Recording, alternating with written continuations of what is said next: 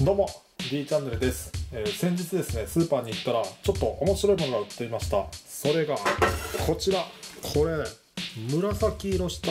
白菜なんですね。これ別にあの色とかの編集でこういう色にしてるわけじゃないですよ。まあ紫キャベツとか紫玉ねぎとかありますからこういうのがあってもまあおかしくはないかなと思うんですけど白菜でこの色は初めて見たんですよね自分。でせっかくなんでこの色味を生かした感じの料理を作りたいなと思うんですけど自分の経験上こういう紫色の食材って紫の色素結構簡単に抜けるんですよ。例えば浅漬けとかにすると浅漬けってまあ塩気含んで水分出るじゃないですか。その水分と一緒に多分この色素も抜けると思いますしで加熱したら加熱したで多分この紫色が普通のなんか薄茶色みたいな感じの色になると思うんですよね。多分この紫色はアントシアニンとかそういったのできてると思うんでそこで考えた結果ですね、えーこちら餃子。しかもが透けやすい水餃子にしてそう直接熱が当たらないようにすれば結構綺麗な感じの紫色の水餃子ができるんじゃないかと思うんですよ。果たしてうまいこといくかどうか試してみたいと思います。そんなわけでまずはこの紫玉ねぎじゃない。そんなわけでまずはこの紫白菜をせーの。じゃあ刻むか。いやこれすごいですね。表側はこんな感じで芯のところも白いんですけど裏返すと内側は紫色なんですね。うわ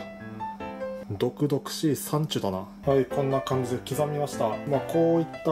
余った方を見ればわかると思うんですけどそのより紫色の濃いこの刃先の方を使いました。まあこれは紫色がより濃く出るようにっていうのもありますし普通白菜で餃子作るってなったらこの後塩振って水分抜いて作った方がその味が水っぽくならなくていいんですけど今回その白っぽいところに比べてその水分量の少なそうな刃先のところを使うことによってその塩もみの部分は省略しようかなっていう。てなわけであとは普通に餃子を作っていくだけです。もうひき肉に思い思いの味付けをしてってほんでこれを粘りが出るまでしっかりとこねて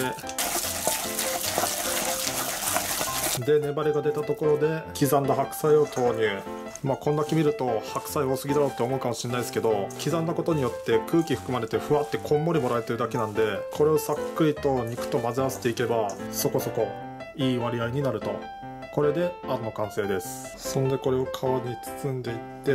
はい水餃子なんでひだは作れません。あ破けてる。はい包み終わったものがこちらになります。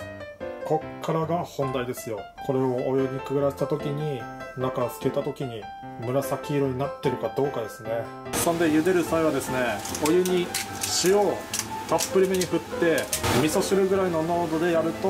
皮にも味がついてそのより水っぽい味から脱却できると。でさらに風味付けとひっつき防止のごま油をちょろっと垂らしてこれで茹でていきます。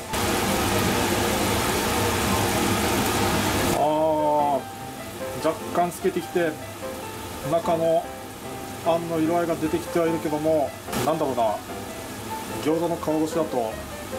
黒っぽいような感じに見えるな。で3分ほど火通したらあとは余熱で火が通ると思うんでここらで揚げます。できました。こちらが紫白菜で作りました。水餃子になります。うん。カメラ越しで分かりますかね。この透き通った先に見える紫色の感覚。で味もですね紫白菜と普通の白菜違いないと思うんで普通の水餃子のような味がすると思うんですよね。じゃあいただきます。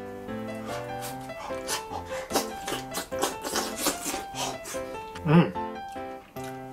美味しい水餃子。今回小麦粉を使った、まあ、普通の餃子の皮を使ったんですけど中にはあの米粉って言って小麦じゃなくてお米を粉末にした小麦粉的な扱いをするものがあってそれで餃子の皮を作ったらより透明度が増して今度こそちゃんと綺麗な紫色になるかもしれないですね。ひとまずは紫白菜は普通の白菜と同じ扱いしていいと思います。ただね今日の最高気温40度近いんでクーラーのないこの部屋で食べるの結こう蒸し風呂。